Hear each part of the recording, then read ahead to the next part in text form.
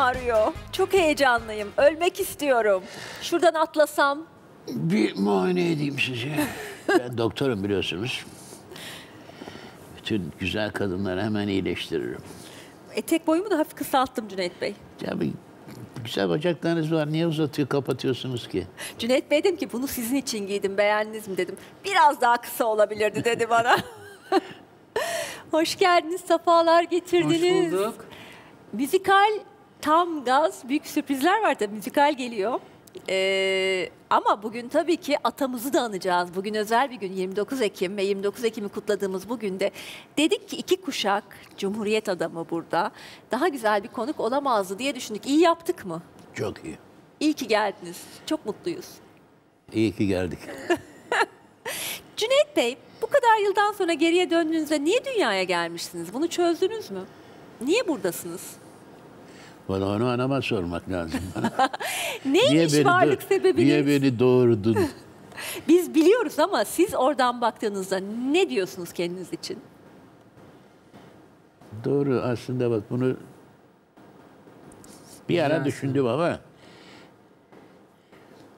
şey tabii e, soruda aslında çok büyük derinlik var.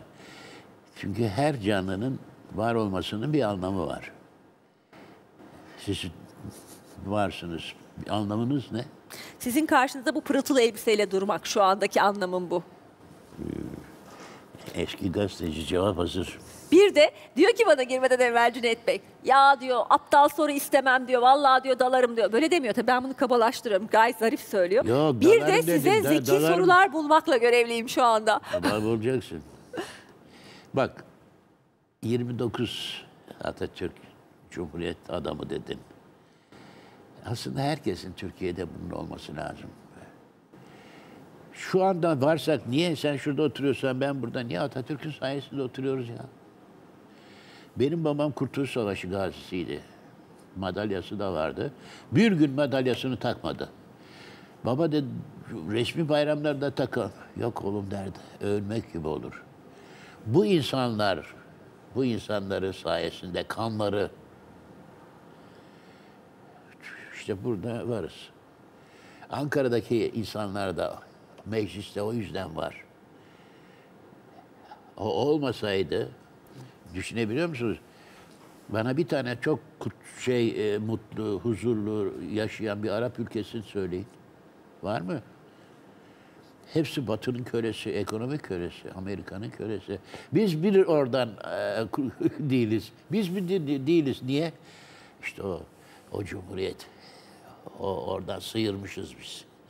Çağdaşlaşmışız. Ya düşünebiliyor musunuz? Şu yapılan fabrikaları, demir yolları, üretim. Ben doktorum ya o zaman e, bir tek aşı yok.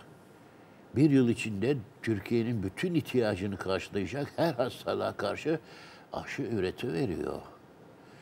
Bu nasıl bir mucize, nasıl bir kadro? Adam neyi halletmiş ya? Latin harflerine geçmiş eski harflerden. Babam garibim bir gün olsun hatıralarını anlatmazdı. Ya Ölmek olur oğlum derdim. ama bu sözlü bir tarih aslında anlatmak gerekiyor değil mi? Siz anlatıyor musunuz çocuklarınıza? Ben şeyi düşünüyorum aslında aslanım. Ee, hatta Yeşilçam'ın üniversitesi bile kurulmalı. o tabii. kla- e, bizim iz- benim çocukluğum, gençliğim hep babamın filmleriyle geçti. Ben ben ne öğrendiysem hayatta hep babamdan ve filmlerinden öğrendim. Sevgiyi, saygıyı, hoşgörüyü, dostluğu. Anan da burada oğlum, anan da Katar. Evet. Annem zaten baş tacımız. Saçını Her zaman. süpürge etti Betül Hanım Evet. yıllarca o iki çocuğa Baş ve. Cüneyt Bey'e değil mi? Analık kolay bir şey mi ya? Analık kolay bir şey mi? Analık ne güzel çok bak, zor bir şey. Ne güzel değişler var. Saçını süpürge yapmış diye. Kolay mı ya? O Anadolu kadını, o merhameti. Müthiş bir şey. Müthiş bir şey. Hepsinin ellerinden defalarca defalarca öperim. Peki sorumu unutmuyorum. Unutma. Anlatıyor musunuz çocuklarınıza kendi hikayenizi, anılarınızı? Çünkü bu çok değerli bir şey. Ben babamı erken kaybettim, annemi Evet. erken kaybettim, Oo, babaannemi ya. erken kaybettim ve şimdi keşke her söylediklerini kaydetseydim diye e, O- o- düşünüyorum. be- ben aynı acıyı ben de duyarım. Ee, yani zamanında e, ilgi gösteremedim değil ama her gün her gün elini ayağını öpmediğimden çok borçluyum anneme de babama da. O müthiş bir şey tabii. Anlatır mı babanız? Anlatır. Ya Bir defa gençliğinize çok önem verin der. İlk onu der. Ee, ilk insan olacaksınız önce vicdan sahibi bir insan olun der. Her türlü mesleği yapabilirsiniz ama en önemli şey vicdan sahibi olmak der. Ondan sonra hiçbir şekilde de ne mesleğimize karışır ne e, seçtiğimiz herhangi başka bir şeye. e, her zaman onu der. Ben size önünüzü açıyorum. Yapmak istediğinizi yapın ama her zaman iyi insan olun, vicdanlı insan olun. Çünkü insan olmanın temelinde vicdanlı olmak vardır der. Zaten filmleri de onu anlatır. Bakmayın e, Kara Murat karakterine öyle sert mizaçlı ama çok duygusal bir insandır babam. Çok duygusaldır. E, ve gerçekten e, hani elleri ayakları öpülesi ve e, elleri ayakları öpülesi bir insan. Gerçekten. İyi ki benim babam olmuş. Ne mutlu bana ki böyle bir babanın evladıyım. Ondan hala çok öğreneceğimiz şeyler var ve şunu düşünüyorum ben Aslı Hanım. Ee, Türkiye'de e, fikir alacağımız, gençlerin daha çok fikir alacağı insanlar kalmadı. Hepsi aramızdan ayrılıyorlar. Çok az kaldı. Türkiye'nin de en büyük sorunu bence bu. Ee, ilham alacağımız insanlarımız kalmadı. Hatta öykülerimiz kalmadı. İşte bugün çekilen Yani filmleri de görüyorsunuz. Kaan'cığım örnek insan çok azaldı Türkiye'de. Ya babam dediniz işte e, programın başında Cumhuriyet kuşağı Atatürk, Adamlarından, e, tabii. Türkiye'sinin sanatçısı. Tabii. E, temeli çok sağlam. E, özgürlük, bağımsızlık temeli üzerine kurulmuş ve üstüne de sanatçıları yetişmiş. E, bunu keşke bir 10 sene daha, 20 sene daha böyle Kurtuluş Savaşı'ndan sonra o çağdaş atılımlar biraz daha kökleşseydi de hani daha çok yayılsaydı. Evet, evet. Ee, şu an yaşadığımız bütün sıkıntıların so- sonunda e, ben, e, sorunu olarak ben onu görüyorum. Babanızın bir de bugünkü dünyadaki tanımı bence benim tarafından yani yıllarca ekonomi ve girişimcilik anlatmış biri olarak bunu söylüyorum. Ben şöyle tanımlardım bugünkü dünyada. Ee, girişimci bir adam. Cüneyt Arkın bir girişimci. Ee, inovatif bir adam. Evet. Zamanında o yaratıcılığını, kendini, bedenini, bedenine hükmederek filmlerdeki tavrını ve tarzıyla bir girişimcilik örneği Kesinlikle. sunmuş bir adam. Oyunculuğunun yanı sıra oyunculukla beraber aslında Evet. o dönemin eee, girişimcilerinden Kesinlikle. bir risk aldı ve bu Evet. risk üzerinden yürüdü. Yani o yüzden de hani bugünkü dünya sadece buna bakıyor ya yaratıcı olmaya, girişimci olmaya bakıyor ve kalbi, vicdanı biraz daha geride Geri tutuyoruz tutuyor, ya. evet. Aslında ikisini birleştirmiş bir adam. Birleştirilmiş bir adam. Yani E Şimdi de inova- baktığımızda evet aslında İnovasyonu kullandı. Evet. Türkiye'de olmayan bir şey yani. Çünkü inovasyon teknikle, bilimle gelişir. O yok. Ee, şimdi beni anlatıyorsunuz da ya Anadolu insanı çok başka bir şey insan. Anadolu insanı adam eder. içini temizler. Bir ahır var bizde. Yüz koyunla iki ablam, anam, babam ben geçiniyoruz. Ama bir hastalık geliyor, bir şarbon geldi. Hep öldü gitti. Ya da e, kuraklık oluyor. Babam dedi ki ya biz ekmek garantisini alalım. Bizim ahırın önünde taşlık, kaya. Annem, ablamlar, ben gittik kırdık kırdık. Ellerimiz kan içinde. Toprak. Sonra gübre. Gitti babam mevsimlik işçi gibi bir şey e, çuval buğday getirdi.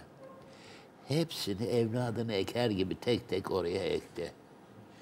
Bir sabah o bozkırın sabahı çok tatlı güzel bir pembelik içerisinde hafif bir yelde esiyor bir esinti tenlerimize vuruyor.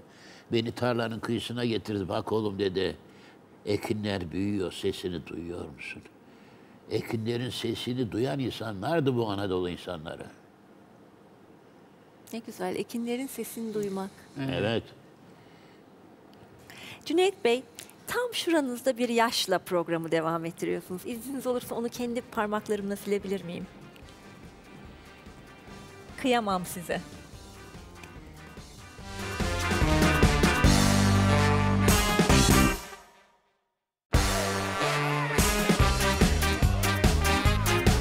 Bir gün bir gün bir şeydeyiz. Yani çocuk baba ilişkisi.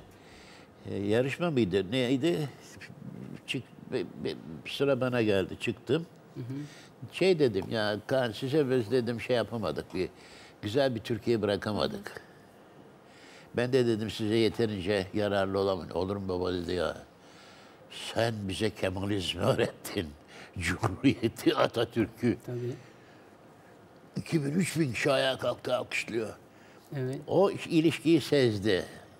Halk Sadece sezdi. ben sezmedim ki halk da sezdi. Bugün İşte ben sokağa sezdi. çıktığımda en çok bana sorulan sorular soruların başında o geliyor. Baban ne biçim herif. Sanatçı yeteneğinin dışında e, duruşu, kimliğiyle, duruşuyla, tavır, tavırlarıyla örnek olması. Çünkü babam der yani sanatçı olarak sadece yetenek yetmez. Yetmez. Halka örnek olman hatta bilinci taşıman lazım. Yurttaşlık bilincini taşıyabiliyor mu, taşıyamıyor mu?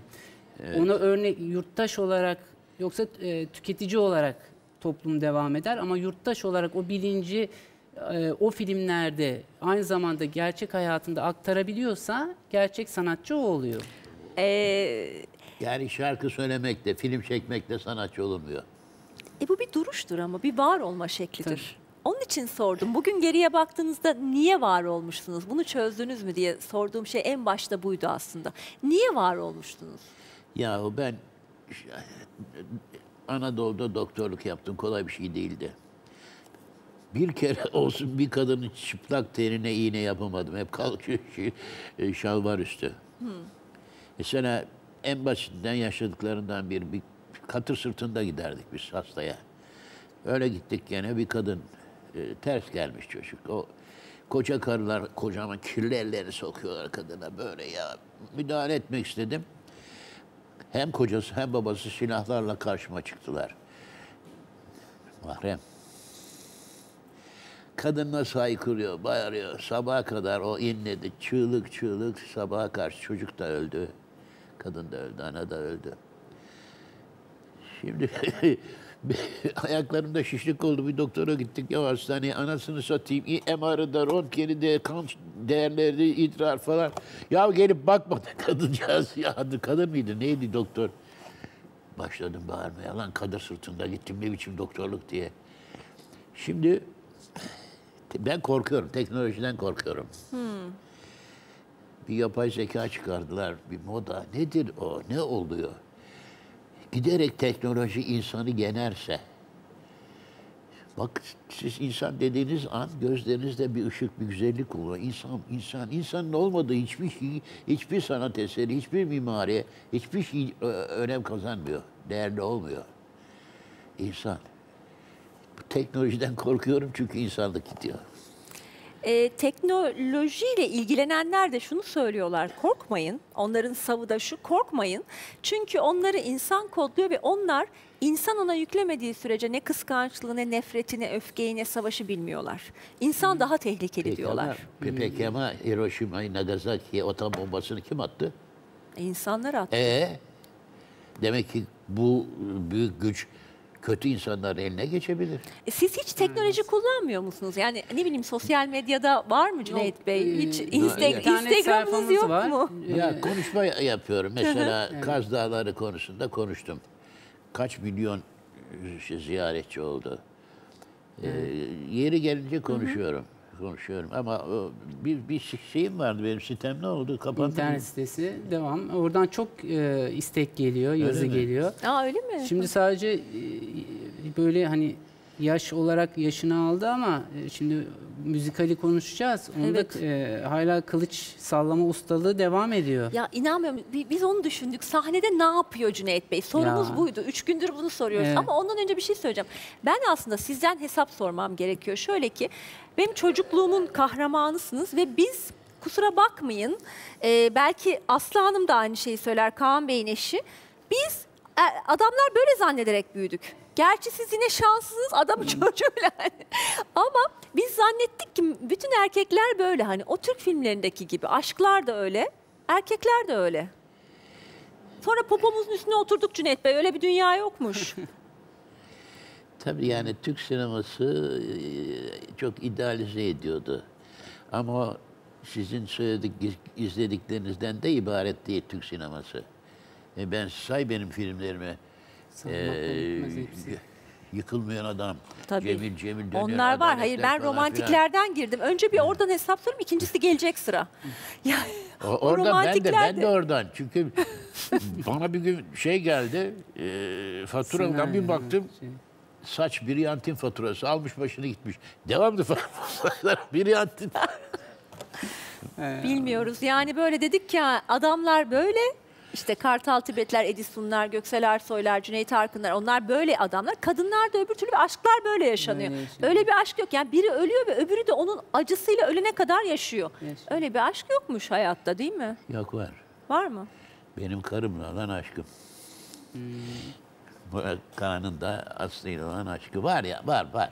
Mesela benim karımın hala bana bir bakışı vardır. Evladım yani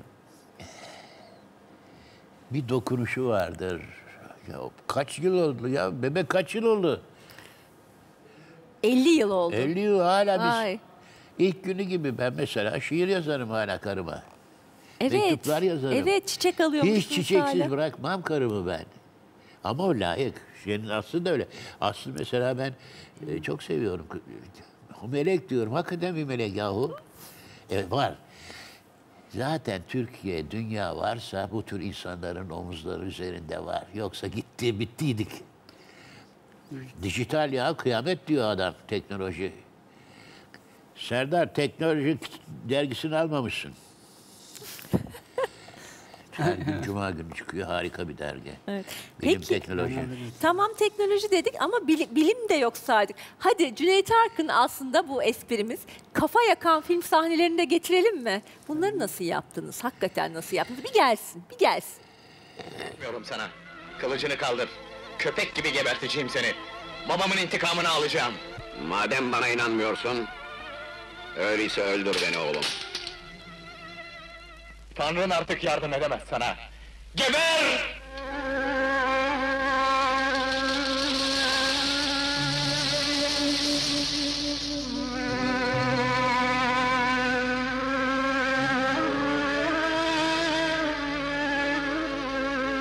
Baba! Baba! Babamsın sen benim.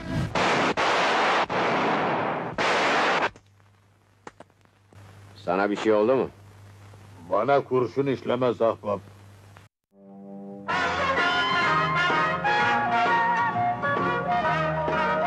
Pınarköy'deki Türkleri ben geberttim. Bu Konya'da oradan bir hatıra.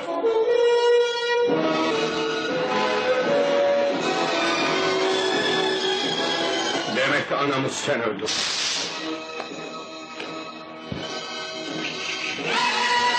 Bu anam için! Bu kaba sakal ve Mihal için! Bu da öldürdüğüm bütün Müslümanlar için!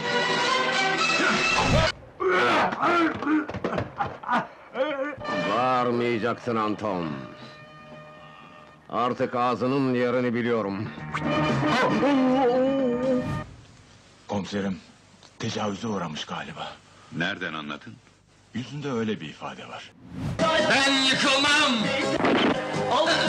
Aç kararım! Belki ölürüm! Asla yıkılmam! Ve tabii binlerce film. Yani 400'ün üzerinde film değil mi? Binlerce diye uydurmayayım öyle sallamayayım 400. da. 400 kaç oldu? Yani 300 300'e yakın bizde e, kayıtlı var ama bir de 50 tane 50 55 tane olmayan var. Yani bir 400'e yakın Evet, film var değil mi? Ve dünya Film var. üzerinde en çok aslında çok. değil mi? Film Tabii. çeken aktör Evet. başrolde de oynuyor. Tabii tabii. Avrupa'da bir filmimizin şeyine rab- laboratuvar şeylerine gittik. Orada bana sordular kaç film çektin diye. Şimdi ayıp rakamı söylemem. Çok az söyledim. 100 falan dedim. Uğur dersin. ya çok yaşlısın ya da çok zenginsin. Olsa 250 küsürdü Ya. o zaman. Ee, babanızın madalyasıyla övünmediği gibi siz de filmlerinizle mi övünmüyorsunuz? Hayır övünmüyorum. Bu, bu- ben bu halkı çok seviyorum. Ben halkımı çok seviyorum. Ne yapsam azdır onlara ya. Siz, ah, tanımak lazım. Türk halkını tanımak lazım. Oturulduğu yerde ahkam kesmekte o karar verme olmuyor ya. Öyle bir yüreği var ki Türk insanının. Öyle bir yüreği var ki. Ya düşünebiliyor musunuz? Onu hep söylerim. Mesela bu e, yeni oyunda Evet bir oraya da gelelim. Evet. kızlara şey yapıyorlar, taciz ediyorlar falan filan da ben sonunda e, arkam dönük oturuyorum seyirciye sonra bağırıyorum. Yeter lan ama. Ya dedi şey provada dedi ya sen ne kadar güçlü bir e, yeter lan diye bağırdın. Valla dedim ben bu heriflere değil aslında bağırmam. Bu bağırmam benim bir herif var uzaklarda. Küstah, terbiyesiz. Türk halkına yaparım, ederim, yıkarım, mahvederim diye bağırıp çağırıyor duruyor bu herif. Ben yeter olan diye ona söyledim dedim ya. Bu herif bilmiyor ya. Ya sen babam söylemezdi ama belliydi. Bütün vücudunda şarapnel parçaları var. Yürüyemezdi. Ee, bir şey söylerdi yalnız. Ah keşke derdi sırtımızdaki bit kadar kurşunumuz çok olsaydı. Onu söylerdi.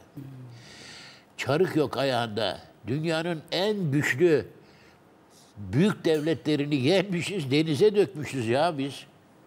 Böyle bir milletiz. Şaka, şaka bu, bu Türk milletiyle kimse dalga geçemez, hakaret edemez. Şakası yoktur Türk milletinin. Yok öyle bir cezasını verir ki yeri geldiğinde. Ah hepsini yüreğinden. Babam derdi ya. Her gördüm sevdiğimi yüreğime koyardım derdi. Kaç tane de vallahi binlercesini yüreğime koydum derdi. Baba senin yüreğin çok küçük işte bütün marifet o. Küçücük bireyin binlerce canlıyı oraya sığdırmak. Peki babanızla çok vakit geçirebildiniz mi? mecburdum ya. Koyun güderdik biz onunla. Ne güzel. Bu kadar çok konuşacak vaktiniz de oldu. Ya gece koyun mübarek doymaz. Gider gider. Sen de peşinde gidiyorsun. Akşam baş şeyde karanlık akşam alacasında çıkıyorsun otlatmaya. Sabah alacasına kadar yürüyor mübarek.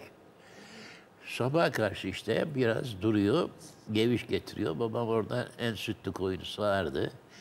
O süt nasıl yeşil ot, çiçek kokardı. Tandır ekmeği, köy ekmeğini bir doğrardık. İki köpek, eşek, babam aynı kaptan yemeğimizi yerdik. Siz babanızla çok vakit geçirdiniz mi? Çok. E, bize zaman çok zaman ayırırdı. İşte e, zaman ayırma ayıramam size demezdi. İşte top oynayacaksak top oynardık. Basket, karate, satranç. Her şeyi beraber. Her şey Ya da şimdi de yaptık. çok vakit geçiriyor musunuz? Şimdi Hani- daha çok böyle e, şey yapıyoruz. Biraz e, kitaplar üzerinden konuşuyoruz. Tarih çok konuşmayı seviyoruz. İşte gündelik kitap. hayatta neler oluyor onları. Bir konuşuyoruz. kitap düşünüyoruz, onu söyle. Evet. Şimdi babama layık hayatını anlatacak ve gençlere ilham olacak bilgisini, tecrübesini aktaracağımız bir kitap e, çıkarmak istiyoruz. Başladık. E, soru da alıyoruz vatandaşlardan. nehir söyleşi gibi bir şey mi Hayır, hayır, olacak? hayır. Ya, söyleşi gibi aslında Birisi soru mi cevap yapacak? gibi olacak. Halk soru soracak. Soracak, En tamam. Evet. cesareti, en terleten soruları soracak. Soracak. Ben cevap vereceğim. E, nereye ulaşsınlar soru sormak isteyenler? E, Bizim internet sitemiz var. E, Cüneyt Bey'in evet, sitesi evet, değil mi? Oraya ulaşabilirler. Yani ne kadar soru toplayabiliriz? Çünkü bizim aklımızda olan, aklımızda olmayan birçok soru geliyor. Biz de şaşırıyoruz. Neler soruyorlar? Neler sor? Mesela en ilginci şimdiye kadar ne? En genel soru şu. e, yani şöyle Türk sinemasını bu e, şu anki filmler e, değil ama geçmiş filmleri biz çok arıyoruz. Neden? Bunu Cüneyt Bey nasıl açıklar? En çok gelen soru bu. Çünkü kalbe dokunuyordu o filmler. Kalbimizi harekete geçiriyordu. Teknoloji Sadeydi, dediniz çok. ya, teknoloji gelişiyor ama Sadeydi çok. belki de babamın sizin de dediğiniz gibi insan ve duygu azalıyor. Evet. Onun etkisiyle çünkü bütçeleri az, teknolojisi de az olan filmler ama çok ses getiren filmler. Bir, bir de soru var şey şöyle. Hangisi? Çok, Aslı bulmuş onu sormuşlar Aslı'ya. Benzinci. Evet. Cüneyt Arkın filmlerde kahraman, yiğit, kodum oturtuyor. Ee, özel hayatında da aynı mı? Müthiş bir şey. Cüneyt Arkın özel hayatında 8 parende atabiliyor mu? 8 parende atmıyor. Tam tersi resmi yapıyor, şiir yazıyor, öyküler yazıyor. İnce bir ruh. Çok ince ruh. Ne güzel, ne şanslısınız. Bir taraftan peki bu hani bu kadar ince ruhlu bir baba, böyle ince ruhlu bir anne. Anne çünkü organize yeteneği de, organizasyon yeteneği de çok yüksek Evet. bir kadın ve analitik bir kadın. Evet. Yoksa öyle kolay değil bu hayatı tabii. yaşamak. Ya, Yani şimdi burada. Ee, Görünmüyor ama bütün her şey, emek, varlık tabii ama yok. ananın üstünde. yani. Tabii. Şimdi ince bir babam ama ince fakat aslında ince ruhta şöyle bir tehlike vardır. Kayabilir o ruh. Yani bir yere odaklanmakta zorlanabilir. Daha geniş bir e, yer, alanda kayabilir. Kayabilir. Böyle bu küçükken zor muydu Cüneyt Arkın'ın çocuğu olmak? Ya da işe başladığınız zaman sonraları yani Cüneyt Arkın babam ama ben Kaan olarak var olmak Evet. istiyorum dediniz mi çok kere? Tabii kimlik çatışması yaşıyor, yaşadık ama Cüneyt Arkın'ın oğlu olduğumuzu biz bilmezdik. Bize toplum, çevremiz bize bunu hissettirirdi. Küçükken biz bunu bilmezdik. Büyüdükçe yavaş yavaş bunu idrak etmeye başladık. Ee, ama hiçbir zamanda Cüneyt Arkın'ın oğlu olmanın işte zengin, paralı, e, gösterişli bir babanın oğlu psikolojisine de hiçbir zaman girmedik. Çünkü babam bize hep o mütevaziliği öğretti, mütevazi olmayı öğretti. Filmleri de zaten bakmayın öyle öyledir. Yani hiç öyle gözüktüğü gibi şey yoktur. Ee, gösterişli böyle filmler değil de toplumsal filmlerinde olsun, salon filmlerinde olsun.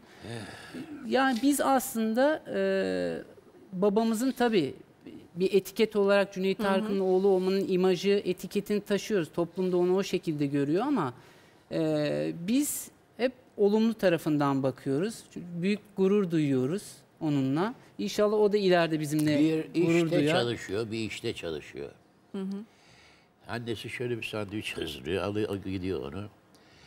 Takip ettim. Hamallık yapıyor resmen. Kumaş şeylerini, yüklerini taşıyor, getiriyor. Arabanın gölgesine de sığınmış, sandviçini yiyor. E ben dayanamadım, gittim adama patronuna. Ya dedim, bu hiç değilse yemek rahat bir şey değil. Ha, sizin oğlunuz mu dedi. Evet. Kaç yıldır orada çalışıyor benim... Ha. Bir seneye yakın çalışıyordum bilmiyorlardı. Murat da- Bilince Murat çok da- şaşırmışlar. Çünkü söylemeye gerek duymazdık Murat da, biz. Aa, Murat da öyle. Kaç ben de. yıllık okulu bitirdi. Ee, Şey, e, diploma alırken ancak herkes benim oğlum olduğunu öğrenmiş. Onlar kendileri başın çaresine bakıyorlar. Yalnız şöyle bir değişik röportaj tekniği gerçekleşiyor şu anda. Seyirciye hemen bunu aktarmam gerekiyor. Cüneyt Bey tıpkı kendi babası gibi kendinden bahsetmeyi sevmediği için ben Cüneyt Bey ile ilgili bilgileri oğlundan alıyorum. Oğlu da kendiyle ilgili çok bahsetmediği için Cüneyt Bey onu anlatıyor. Şimdi dolayısıyla asla Karşılıklı. doğrudan bir röportaj tekniği yok burada sevgili seyirci. Değişik bir kafa yaşıyoruz şu anda. Dolaylı. Ee, müzikal, pera müzikali. Bir dakika şimdi. Harikasınız. Birlikte de sahnede olacaksınız. Nasıl cesaret ettiniz? Çünkü bence müzikal iş çok cesaret gerektiren bir şey. Nasıl karar verdiniz? Kim sizi Müjdat Gezen mi ikna etti? Nasıl oldu olay? Bunu artık siz anlatırsınız değil mi? Ben yıllardır alkol uyuşturucu konferansları verdim. Orada kalabalık nasıl konuşulur, ne yapılır çok iyi öğrendim. Yani ben 2000-3000 kişilik bir kalabalığı saatlerce eğlendiririm, güldürürüm. O şeyim var. O nedenle ben e, şeydim, e, hazır gibiydim. Bir de e, sinemadan çok farklı. Sinemada hep resimle varsın. Tiyatroda karşı karşıya varsın. Fotoğraflar geliyor bir Evet, taraftan fotoğraflar. müzikalden de Onlara baktım şöyle takıldı. bir göz ucuyla. Önemli olan Kaan'dı. Nasıl kabul Benim için de çok sürpriz Evet, oldu o da aslında. çok şaşırtıcı. Çok, çok sürpriz oldu. Babam geçen sene oynuyordu zaten Müjdat hocamızın müzikal oyununda. Bu sene de senaryo gelmişti. Senaryoda da bir Kara Murat'ın gençlik, Kara Murat'ın gençliğini oynama sahnesi var. Onunla ilgili de babam okumuş bana söylememiş. Sonra e, babama ben Nair demiştim. babam sorduğunda hatta ona da dün cevap vermiştim. Ama Müjdat Hoca bir gün aradı beni. Kaan dedi böyle bir rol var senin oynamanı istiyorum. Çok da anlamlı bir rol. Kısa olacak ama çok anlamlı olacak benim için dedi. Kabul ettim tabii ki. Başımın üstünde yeri var. Müjdat hocamızın ben e, e, hem babamla hem Müjdat Hoca gibi bir duayenle oynamaktan büyük gurur duyacağım. Hayatımda en büyük gururu olacak bu. Hem kendime hem çocuklarıma anlatabileceğim. Tabii yani bir e, ma- maddi değil de yok, çok, çok hayır, iyi bir işi vardı Kesinlikle. televizyonda. Sadece orada olmak O ve televizyonda ekibin yıllarca içerisinde uğraştı, yıllarca Evet. uğraştı, başarıya ulaştı. Onu bırakıp buraya geçmesi hakikaten bir başka. yani 110 kişilik dev bir ekip. Bu arada e, yarın başlıyor. 30 Ekim'de değil 30 mi? Ekim'de. Yarın e, premieri yapılacak. Evet, Hadi 30 bakalım. 30 Hayırlı uğurlu olsun. Premieri, üçünde de gişesi olacak. Hadi şahane. Evet. Hayırlısı olsun. Çok da ses getirecek. Ben çok iddialı e, bir ekip olarak görüyorum. E, babamın dışında da işte gönül yazar Ya şimdi var, e, ses sanatçılarımız var, Tabii, kiminle Melihat konuşsa, Gülses Melihat var. Gülses var. kiminle konuşsan ah o eski günler diyor. İşte bu şey oyun eski günleri yaşatıyor. Gitmemiz gerekiyor. Çünkü bu sadece hani eski günleri yaşatan oyuna gidip de eski günler tadını almak değil. Tabii Sizi, Gönül Hanım'ım o sahnede e, birebir canlı canlı görebilmek, biraz kendi çocukluğuna, geçmişine sahip çıkmak. Bunlar önemli. Gitmek, o vefayı da göstermek gerekiyor. Sadece bir oyun kesinlikle. izlemek, müzikal izlemek tamam. Evet. Ama işin böyle bir duygusal tarafı var. Kesinlikle. Bak e, Bosna Hersek olsun Avrupa'da Almanya o büyük şey boğuşma. İnsanlar ölüp ölüp gidiyor. Büyük acılar. He gene bir salonda toplanıp müzik dinliyor insanlar. Çok önemli o. Var ediyor. Kahırları, acıları yeniyor müzikle. Güçleniyor, karşı koyacak zorluklara. Müzikle, sanatla güçleniyor. O, o anlamda dediğinizin ötesinde bir de sanatın yanında olmak, ona katkıda sağlamak adına o salona gelmek lazım. Şimdi yaptığınız iş mesela doktorluğu hiç özlediniz mi sonraki yıllarda? Tabii o bırakılmıyor. O zaman şey çektik ya. Altı küsür yıl okudum. Her kitap kalınlığı böyle. Bir de ben doktorluk yaptım. Yapmasaydım belki bu kadar şey İşte onun yapmazdım. için merak ettim. Ben Anadolu'da doktorluk yaptım söylediğim gibi. Kadının şalvarlarının üstünden iğne yapıyorduk. Artık Çocukların rastgele. Anneler ölüp gidiyordu. Kızamıktan çocuklar ölüyordu. Ya elimde bir penisilin olsa ünite kurtaracağım yapamıyordum. Şimdi bütün bunları yaşadıktan sonrasında bırakmak doktorluğu çok zor bir şey. Fakat şu da var. Şimdi doktorluk bir işte tıp, bilim, iyi etme, iyileştirme işi. Çare bulma, deva olma işi. Ama diğer taraftan yaptığınız filmlerde de tarihin kimyasını kullanma işi var. Ki bu da toplumsal damarları iyi etmeyle alakalı bir şey. Yani bu da hani damar sertliğine iyi gelen bir şey olabilir o kan akışıyla ilgili olarak. Çünkü tarihin de, tarih de bir kimyadır aslında. Bir kimyasal maddedir. Tarihi hangi dozda nasıl vereceksiniz? Onunla ne arada vatanseverlik, ne arada uçta gezinilecek yani. Bunların dozu da önemlidir. Belki bu da bu, bu açıdan da bu böyle değerlendirilemez mi? E yani çok bilimsel anlattınız ama İşte öyle anlatmaya Doğru. çabaladım. Gözünüze Doğru. girmeye çalışıyorum hala Cüneyt Bey şu anda. Sorulardan mutlu bırak musunuz gözümü, muhabbetten? bırak gözümü, bırak kalbime girdin, bırak gözümü. Babam dediği gibi. Şu anda paren de atıyorum önünüzde. Üçer beşer. Babanız ne derdi? Babanız ne derdi? Her şey görülmez. Kalpte hissedilir. her şeyi büyük hasretle bakıyor, görüyor. Çünkü bir daha göremeyecek, bir daha yaşayamayacak onları. Ve o her şeyi alıyor, kalbine koyuyor, kalbine koyuyor, kalbine koyuyor. Yaş ilerleyince bu hasret niye artıyor? Artar mecburen, yok artık gideceksin. Ondan mı kaynaklanıyor? Abi ya yol, ya bakma sen 83 yaşında Azrail beni unuttu ama bir gün hatırlar. Kapı çalınca ben diyorum ki kanka açma kapıyı belki Azrail gelir. Bu sizi, bu sizi üzüyor mu? Ee, yani Böyle- çok yani zor böyle- bir soru aslında benim için. Tabii üz- yani düşünmek bile aslında bana çok korkutucu geliyor. Bana gelmiyor ya ben hazırım. Unumu eledi. Ya bu Türk halkına doyamadım. O ben her sanatçıya aynı şeyi söylüyorum. Ulan şarkı söylüyorsun türkü git bir Anadolu. Ben Anadolu'yu dolaştığım zaman inan bana 16, 16 bin tane türkü topladım ya. Bir tanesi diyor ki, ey yar bana bir mendil gönder, ucunu işle gönder, içine iki elma koy, birini dişine gönder. İşleyecek yarın eli değecek. Elmayı ısıracak, yarın dudağı değecek. Böylesine ince, böylesine bir kültür, Kemal Sahip der ki bir Türk'ün, bir halkın türkülerini bana dinlet der. Ben o halkın ne mal olduğunu size söylerim der. Bir Türk kilimindeki renk, biçim inan bana Picasso'nun tablolarında yok. Çok Vallahi daha güzel ay- dediniz. Sakın öyle şey söyleme. Valla daha senden öğreneceğimiz çok şey var. Dali ve Dali ve Buñuel'in bir Endülüs köpeği filmi vardır ya 14 dakikalık Hı hı, e, evet. bir filmi hani böyle işte at vardır piyanonun üstünde yatar sinek gelir atın gözüne konar. Ben hep onu şey derim manda yuva yapmış söğüt dalına Ya. yavrusunu e, sinek kapmış neyleyim diyor. Dedim ki ya bunu işte Buñuel'le Dali'nin o yıllarda 1920'lerde yaptığı Tabii. filmin sürrealite diyoruz değil mi ona? Bir sürreal gerçeküstü. evet, İşte al sana türkülerde var aynı sanat eseri. Aynı şey. Anadolu, Anadolu, ah Anadolu, ah Türk halkı. Dünyanın en büyük zenginliği. Evet, peki.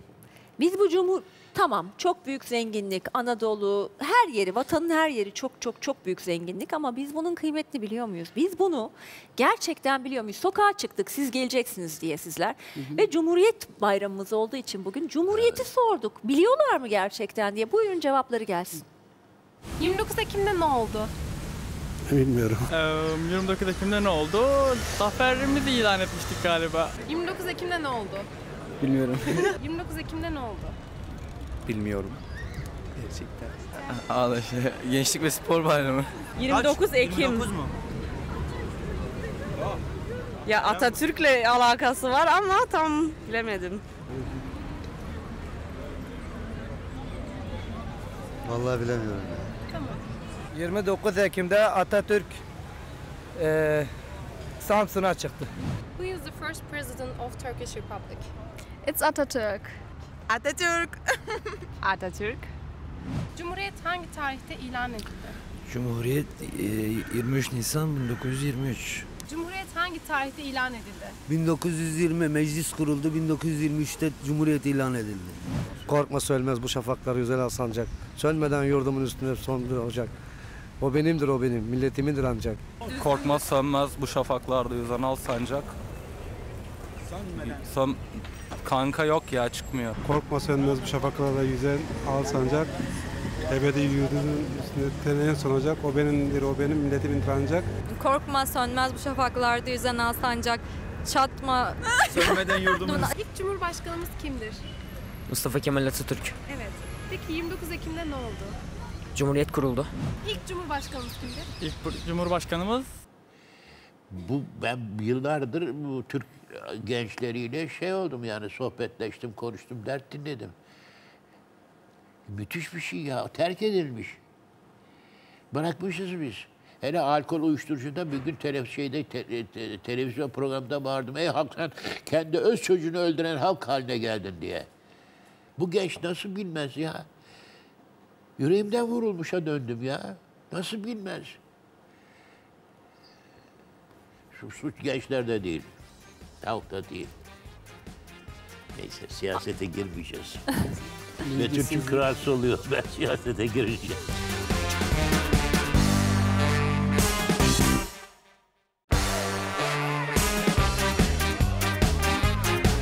Peki Cüneyt Bey bu dünyanın şu anda bütün dünyaya baktığımızda bu düzenin en büyük sorunu ne? Valla bir son okuduğum kitapta dijital e, kıyamettir diyor. Müthiş bir şey teknik, dijital teknoloji değil. Teknoloji hayat kurtarır. Mesela bizde şikayetler var yani sanatta ve bilimde geri kaldık. Şimdi kafan özgür olacak beynin. O da layıklıkla olur. Özgür beyin de teknoloji de yaratır, bilimi de. Galiba dünyada beyinler özgür değil. Mesela bir kitap okudum, dehşete kadın. Türk-Amerikan halkı yüzü koyun yere kapaklanmış yatıyor hala yıllardır diyor. Şöyle başını çıkar, kaldırıp da doğruyu bir rengi sabah görmüyor. Militarist bir eğitim. Hala öyle değil mi? Amerika deyince aklımıza silah, savaş, ölüm geliyor. Yağma geliyor. Bir ülke, ha edebiyatı. Mesela Rusya dediğimiz zaman genelde bir edebiyatı gelir. Dostoyevski'den tut da Tolstoy'dan tut da dünya çapında barış, sulh ve barış şeyi gelir. Amerika'da öyle değil ki. Yani Türkiye'de de aynı şeyi yaşamıyor muyuz? Gittikçe e, zevkler azaldı, ahlak çöktü. E, duygular, mesela eskiden Türk filmleri aşk doludu. Aşk, duygu. E şimdi herkes kafasını sıkıyor birbirinin dizilerde. Ne, sen hani, ne, nasıl cevap vereceksin buna? Sen her şeyi söyledin ama şu fotoğrafı gördükten sonra Ya o benim içim yandı. Ya unutmam onu. Türkiye'nin en büyük sorunu bilgisizlik. Ee, O bilgisizliğe Yok, bilgisizlik ilgisiz değil. kalma. Bir ilgisizlik var. Yani Bilgisizlik bilgi değil, bilginin dışında Kaan terk ediliş. Türk halkını terk ettik. Aydını, sanatçısı, siyasetçisi, yönetici, herkes. Halkı terk ettik. İsterse benim. Ama siz terk ettiniz mi mesela? Hayır. Hala yüreğim yanıyor. Hala iki yerde buluşsan, iki kişi olsak bir şeyler anlatmaya çalışıyorum. evet babamın o çok en büyük özelliği bir Ve o kadar yaşında bir şey, bile yani hiç sokağa olmadı, çıkıp yaşta durumda kadınlar havuzda şurada burada onlar gelip sana öyle güzel şeyler söylüyorlar ki iyi ki varsın diyor. Ben yok. Her an her saniye e, şey doğruyu söylemeye çalışıyorum. buraya gelirken bile babam bizi getiren Başka türlü de hainlik olurdu ya. Evet. Bu memlekete şöyle gelirken baktım da İstanbul'a saatlerce yol gidiyorsun. Vay anasını kocaman bir şey. Hala yeşil ya. İstanbul hala yeşil ya. Vay anasını. Yenememişler İstanbul'u. Ama bu müzikalde benim en çok sevdiğim bir son sahne var Aslan'ın. Ee, babam babam da şimdi söyleyeceğim onun için yeni olabilir. Ee, 1453'ten bu zamanı anlatıyor. Atatürk. 2019'a. Evet, evet. 1453'teki e, işte İstanbul'un fethinden 2019'da bir fotoğrafla bitiyor. Çok e, şey vermeyeyim, ipucu vermeyeyim. Oyunda görürsünüz. O, o fotoğrafta İstiklal e, Caddesi'ne gidiyoruz. İstiklal Caddesi'ndeki bir o karede nasıl kendimize yabancılaştığımızı, nasıl kültürsüzleştiğimizin fotoğrafını eleştirisini yapıyor son karede. Ee, gerçekten e, Müjdat Hoca'nın inanılmaz bir e, hani zekasından zeka ürünü e, mizahla Birikimi, birleşmiş. birikimi. Evet. Son fotoğraf. Hiç e, izleyiciler, seyirciler anlayacaktır onu. E, sadece onun için bile e, oyunu izlemeye gelinir. Yani zaten gitmeleri gerekiyor. Sizler varsınız. Yani bunun için de gitmek gerekiyor. E, bu bir saygı duruşu. Evet, çok Sahip çıkmaktır bence yani naçizane. hem öyle hem içeriği de çok dolu dolu. Diyaloglar çok güzel, esprili, ironik, hicv ediyor. Osman Osmanlı döneminde de hicivler var. Aslında programın sonuna geldik. Ben şimdi size bir şarkı çalmak istiyorum. Bugün 29 Ekim anısına atamızın da sevdiklerinden biri pikabımızda. Ama benim bir ricam daha var. Bugün şımarabileceğimi hissediyorum çünkü. Bitirirken Aslı Hanım da gelse, Betül Hanım da gelse. Ay niye? Ay niye? Ben gelmeyeyim, ben gelmeyeyim, ben gel. O zaman Betül Hanım'ı Lütfen. da alsak şurada ailecek. Çünkü sevgili seyirci, aileye e, renkli gözlü olmayanı almıyorlar. Ya resmen vize var. Böyle pasaporta bakıyorlar. Sen renkli göz herkes mi renkli gözlü olur ailenizde? Arkadaş ya herkes mi? Torunlar da öyle, eşler de öyle. Nasıl bir birbirini Sana bulmadır? adam derinliğine en korkunç mavi mavi bakınca sen yeşil kalamıyorsun ki sen de mavi oluyorsun. Ya hadi gel bebeğim. Şimdi bir şey söyleyeceğim. Beni size çalışırken en çok etkileyen şeyi söyleyeceğim. Ee, 23 yaşınızda aynaya bakmışsınız ve ilk kez gözlerinizin rengini fark etmişsiniz. E yani. Ben bunu okudum Ece ile çalışırken. Evet. O kadar içim yandı ki. Ee, bir adam ya bir insan 23 yaşına kadar gözüne aynada bakıp rengine bakmaz mı? Ne oldu da 23 yaşında fark etmişsiniz kızların ilgisi ama o saate kadar neden bakmadınız? Bu beni nasıl yaraladı? Benim çok arkadaşım olmazdı. Ben hayvanlarla uğraşırdım. Küspe hayvan. Meğer bu çok kötü kokarmış benim üstüm. Onun için hiçbir kız, erkek benim arkadaşım yakın olmadı. Sonra fark ettim. Evet. 23 Ben koskoca yaşınızda üniversiteyi bir tek ceketle, ceketle değil mont gibi bir şeyle bitirdim ya 6 yılı. Ama 23 yaşınıza kadar Ya aynaya öyle. bakmamak Öyle yani e, lise lise son Çok sınıfa kadar asker tuhaf değil mi? Lise son evet. sınıfa kadar asker tıraşı. Bak bir şey anlatayım. Bir şey bacaklarımı gösteriyorum şu anda kameraya ayağa Sonra kalk. bak sonra ayrılamam buradan bacak gösterirsen. Bilmiyorum öyle dediniz diye.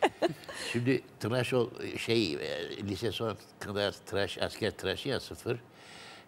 Şimdi üniversite bitti. Saçlar büyümeye başladı. Yatıracağım. Yatmıyor. Sordum. Neyle yatar? Ya limon ya bira. Bir de kızla buluşacağım ertesi gün. Bir şişe birayı boşalttım kafama. Tarıyorum. Yatmıyor ama öyle gittik neyse buluşmaya. Yine yatmadı. Yatmadı. Konuşuyorum ben konuşuyorum. ko- Derken bir arı geldi. Ben konuşuyorum arı iki oldu. Konuşuyorum arı üç oldu. Dört beş. Kız nasıl kahkahalara gülüyor. Bizim iş bira yüzünden, arı yüzünden aşkımız bitti. Burada ne dememiz gerekiyor? Alkol sağlığa zararlıdır. Hep beraber alkol sağlığa zararlıdır. Vallahi bravo. bu kadar laftan sonra bu doğru çıktıysa. Size çalacağım şimdi. Vallahi hep beraber bitirelim mi? Hadi Betül Hanım'ı da alalım. Betül Hanım sizi bulmuşken bu güzel ve zarif hanımefendiyle tam böyle 29 Ekim'e yaraşır bir şekilde. Ama ben de yanınıza gelebilir miyim? Beni de aranıza alır mısınız? Beni de aranıza alın. Böyle iki yak- yakışıklı bir güzel hanımın yanında. Ne, ne, Aslı nerede? Gelmem dedi Aslı.